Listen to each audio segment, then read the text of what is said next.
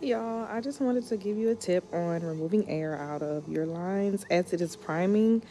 So as you see, this one worked out fine.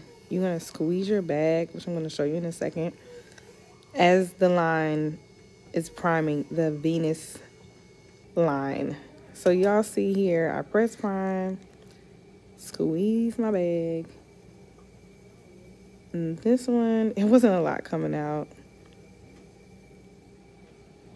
It was just, it was fighting me.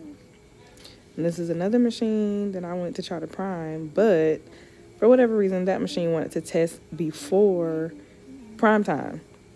So honestly, you just have to let it test because that's what it's going to do anyway. And there's no way to stop the test. Someone asked me this the other day. There's no way to stop the test in between um, a machine testing.